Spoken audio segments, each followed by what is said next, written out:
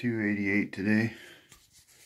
So that was two pounds in one day. I've definitely the Weight Watchers in keto is working really good.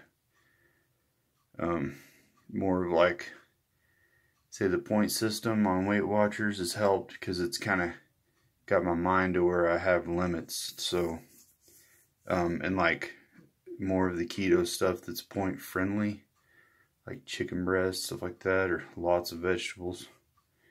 So,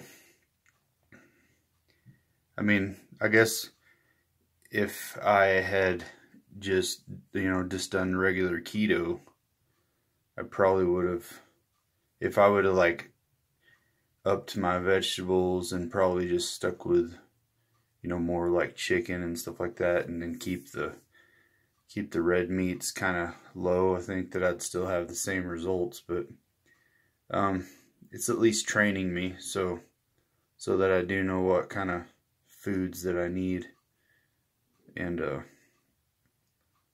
keeping it going. So, and the I really do feel like the red light therapy is just amazing. Like my mood, just my mood being a whole lot better has I think has helped my weight loss a lot. So yeah, that's my update. You guys have a great one.